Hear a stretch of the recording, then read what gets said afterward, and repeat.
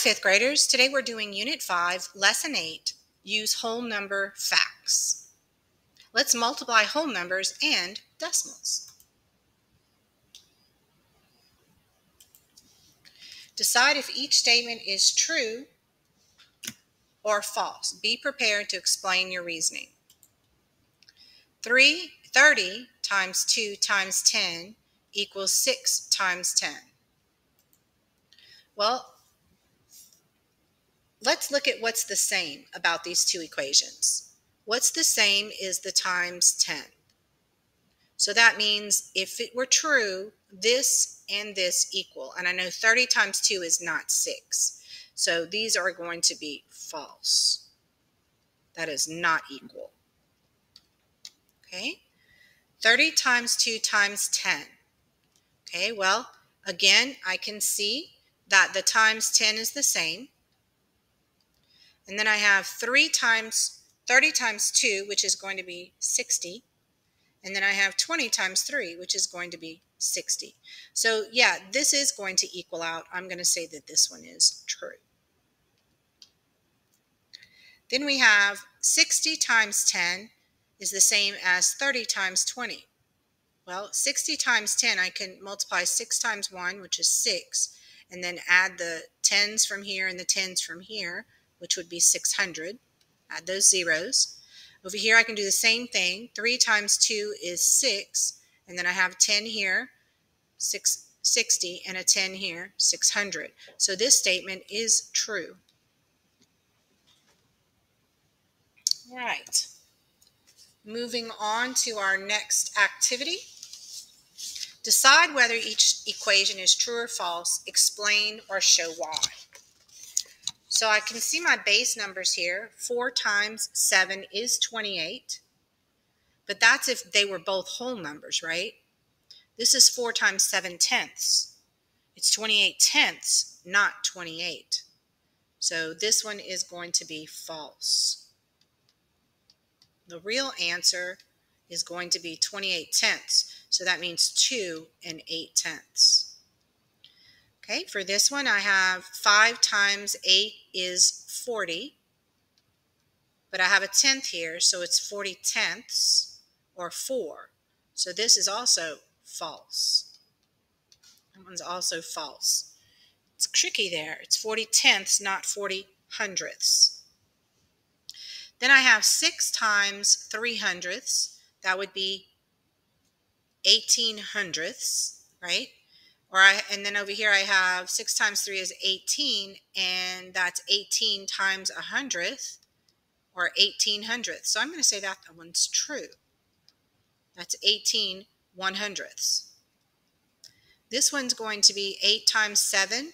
8 times 7 is 56, right?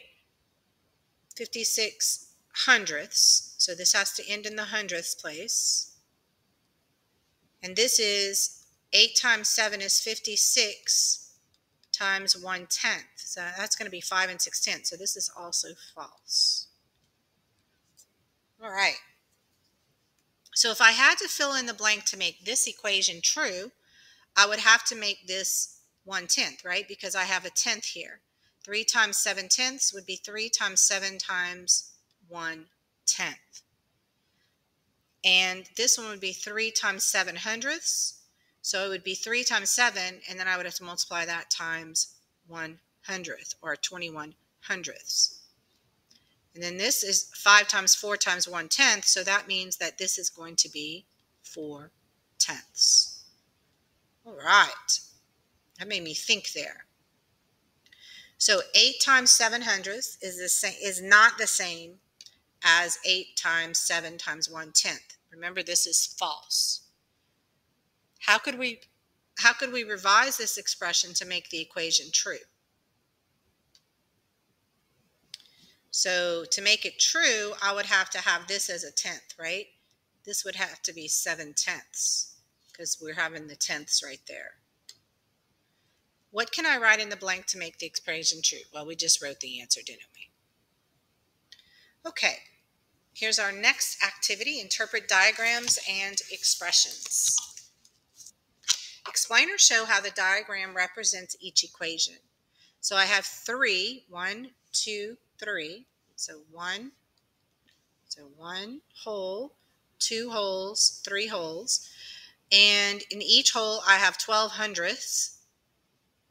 I have one tenth and two hundredths shaded in. So that's how I see this one. In B, I have 3 times 12, which is the number of shaded pieces, 12 pieces, and each piece is 1 100th. 100th, 100th, 100th. I have 12 of those. For this one, 3 tenths are full columns, 3 full columns, one, two, three. Get a different color so you can see it. One, two, three. And then I have three uh, hundredths, three two hundredths. One, two, three. That's the groups of two pieces. Find the value of 3 times 12 times 1 hundredth and explain or show your reasoning. So that would be 1 tenth, 2 tenths, 3 tenths, 3 tenths, and then 2, 4, 6 hundredths, right? And if I did 12 times 3, I would get 36.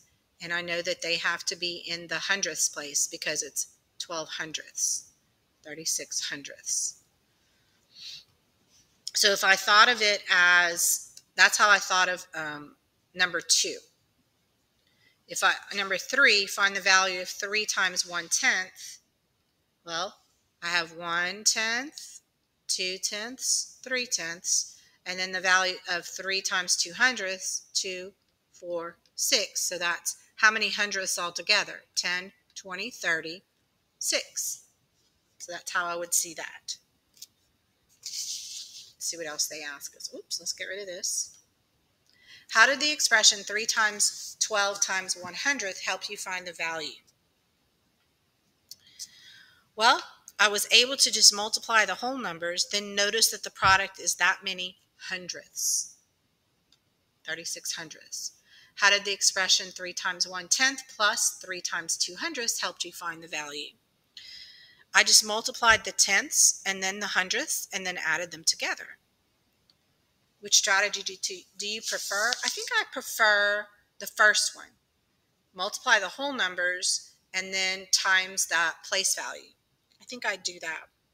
I like the first strategy because I can just use what I know about whole number products and it will always work. Today we used our understanding of place value to multiply decimals. Describe the process you would use to find the values of these expressions. So I like that first method, right?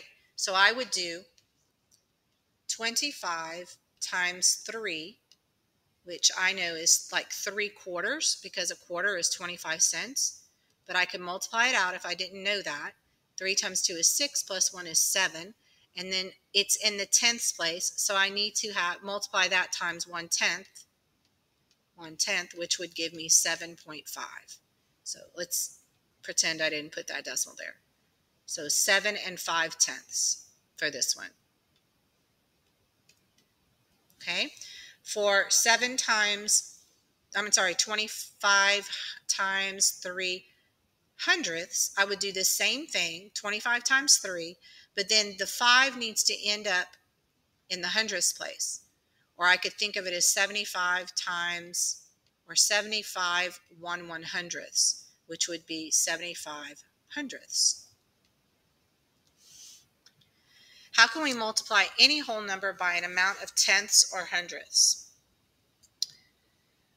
Find the whole number multiplied by the number of tenths or hundredths and multiply that result by one tenth or one hundredth. So I can multiply any whole number by the this whole number and then multiply it by its place value. That's its place value, right? All right, so let's do the cool down and see if we've gotten it. Fill in the blank.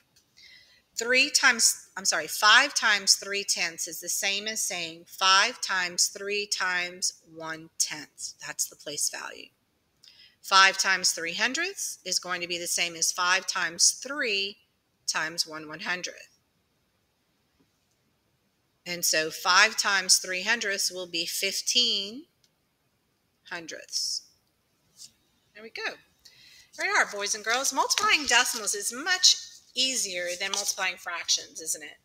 So you can do this. Keep practicing and think about the place value. That's what's the most important thing to do. Think about that place value.